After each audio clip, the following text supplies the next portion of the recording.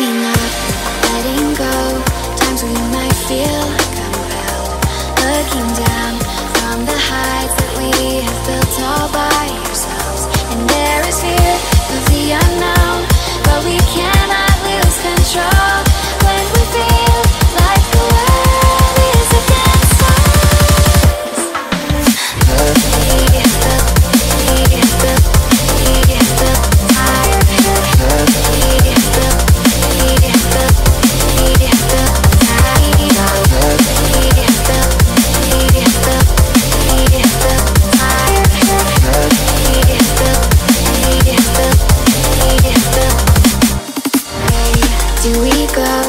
Is a question to ask. There are so many choices that it's hard not to pass.